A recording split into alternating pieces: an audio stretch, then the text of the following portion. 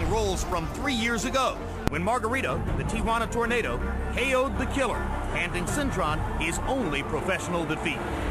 But since that career low moment, Cintron has rebounded, not only to win a title, but also to deliver some smashing performances. Oh, a left right combination of Matisse's down and it's over. Meanwhile, Margarito has failed to enjoy consistent mainstream success, though still earning plenty of critical acclaim. This is brilliant stuff. What a show. Each man hopes a win in tonight's sequel will launch him closer to boxing's A or 2005, I should say. The fight took place in the outdoor arena behind Caesar's Palace after a relatively uneventful first couple of rounds. Margarito got to Cintron in the third round, opened up an unusual cut on the eyelid above Cintron's right eye, and from this point, Larry, the younger fighter folded.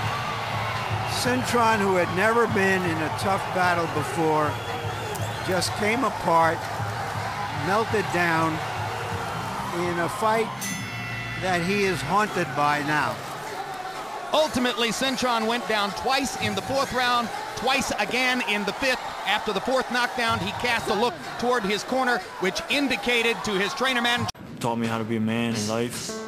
Kermit's uncle is Benjamin Serrano, a tough middleweight contender who made a respectable name for himself in the ring in the early 1980s. Our relationship was real, real close. Get upset. It's not going to bring them back. So I know how you feel whenever you're inside the ring. You know, the punches, whenever they get to you and all that. And I told him, I said, look, you know, this is a, a hard sport and you have to 29 wins, 27 knockouts, and the welterweight title later, Cintron has become something in the ring. A journey with roots embedded in family tragedy, resulting in triumph. At Cintron's life, he has already faced at least two extremely difficult adjustments, both back and home in Puerto Rico and later as a team. They are both five years ago when first they met. It was Cintron who walked on, and surely the biggest change in his career since that tour. Cintron wearing a T-shirt which signifies his... Caesars Atlantic City, the Rums of Puerto Rico victories, only 146 and one half pounds, with a professional record consisting of Reading, Pennsylvania, and representing Carolina. Flatly stated, it's never going. I will crank it up early. I come from behind on the scorecards and late is arguably at the peak of his career.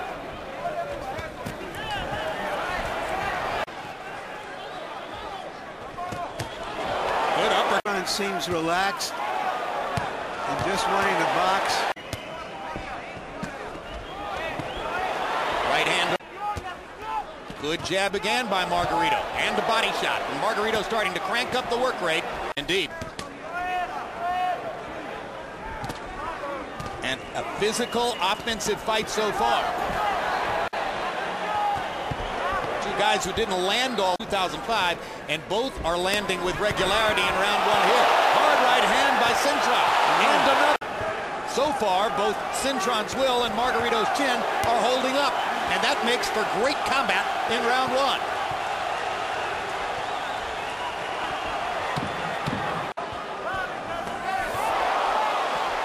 Right hand by Margarito. Snaps Cintron's head back. Good left hook inside. But he's the fight that you referred to a year and a half ago against Emmanuel Clottey. 675 punches, which is the all-time CompuBox record for most punches thrown in any fight in any weight class, counted by... Now round two begins, and between rounds, Emanuel Steward was relatively calm with Cintron, but now Cintron is taking some artillery from Margarito early in round two. Trying not to give Cintron any room to breathe. Uppercut snaps Cintron's head back. Left hook lands. A flurry of punches from Margarito, body and head, and he's seizing the offensive initiative.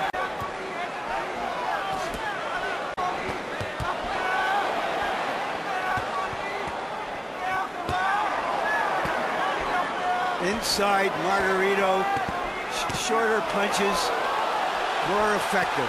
Hard right hand by Cintron, not enough to stop the tornado. Margarito continues to come forward.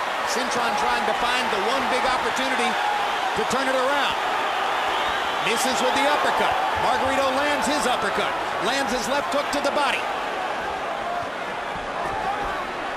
Another good body shot inside by Margarito with the left hand. Now Cintron fires twice to the body. Can't stop Margarito from throwing. Cintron looks relaxed, as though he could stand the pressure this time. Let's see how that goes. This is a fierce pace.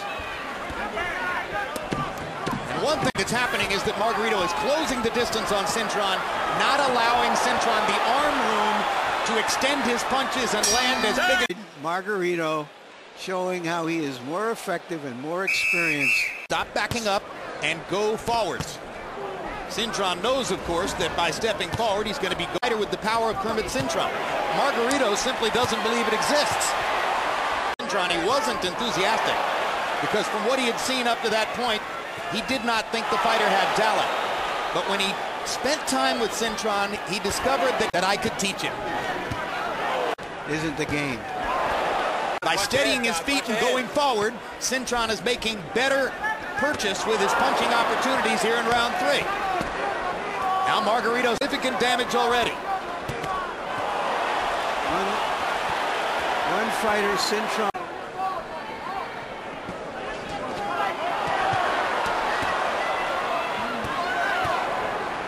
Cintron is beginning to get the distance he wants, though. To when it's coming back at you, he's throwing a lot of punches. He fights without that much coming back at him. Margarito find the right foot position to land something big on Margarito. Watch the back of the head. Watch the back of the head. Earl Brown warning Margarito not to hit Cintron behind the head. Cintron was stunned by that right Punch hand. him in the back of the head. And now complains again to the referee, and Margarito takes advantage to go right at it. It's becoming a big round for Antonio Margarito, as once again, just as was the case in Las Vegas three years ago, Cintron is distracted by some factors in the ring. Just relax yourself. Use your jab. Okay, now here's where Cintron loses his composure, bends down as we have seen many fighters do before, and the punches aimed at him will land on. There's a real nice combinations late in the round to win the first. This Kermit Cintron stands straight up, very, very little head movement. I mean, the guy is absolutely like a totem pole. And Margarito sees that. When he goes to the body, he drops Cintron's guard, he murders him in the body. 2-1 Margarito. Good right hand by Cintron. After a good left to set it And up. another one. Man in Antonio Margarito's corner is Francisco Espinoza. Pejorative to indicate that a fighter is rudimentary. In Margarito's case, he knows how to box.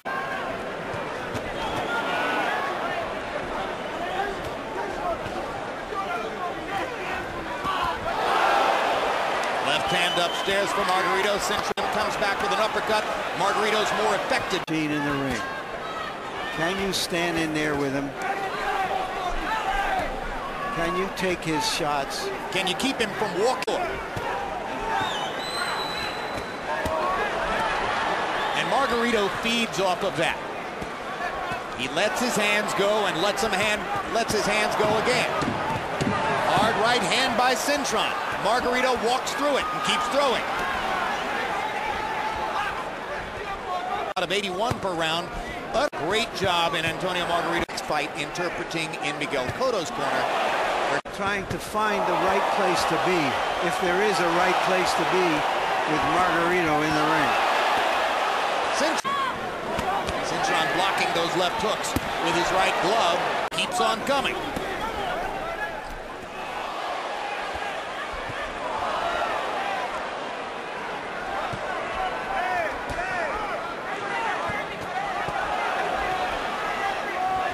Now there's blood trickling from the right eye of Kermit Cintron. And Cintron Same take- eye that was cut in the first fight with Margarito, and it looks as though the cut is in about the same place.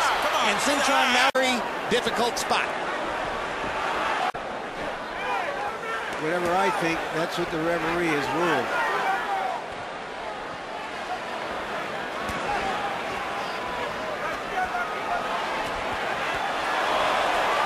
Well, physicians will tell you that few things are more dangerous in the ring than getting hit on the brainstem. And maybe the idea, Larry, is that you shouldn't throw when the opponent is in that position. Well, uh, and watch the left hand that opened up the eye of Cintron. And there again, as in the first fight, he starts to bend down instead of clinching to buy time or going in tonight. But when you've knocked out 27 of, of your 29 victims, you convince your body to do age 19.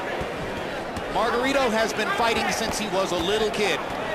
Cintron's background as a wrestler isn't necessarily enough to prepare you for what goes on in, the, in this ring. Four, five, six, He's reacting seven, as though he's really hurt, Jim. nine, ten. Body Whoa. shot. Yep. Another body shot. Boom. That often finishes the brilliant left-hand body shot right above the liver. Cintron focusing on trying to avoid damage upstairs and getting hammered in one of the places where you are least able to recover. Interesting preview of what may be yet to come this evening because Miguel Co New. Welterweight champion of well more